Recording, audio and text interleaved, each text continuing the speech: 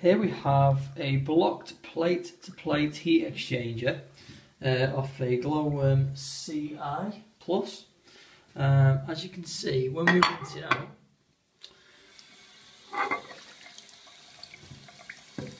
we have black shale coming out of the heat exchanger and this is causing problems with hot water.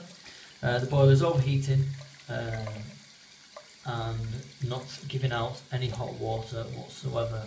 Um, once we clean this plate heat exchanger out, um, we'll refit it, give it a try, uh, and potentially saving a big cost uh, to the customer uh, as they're not buying a new plate to plate heat exchanger. Now I'm not saying um, it's not going to need one, but uh, as a temporary repair for the customer, um, it does solve the problem.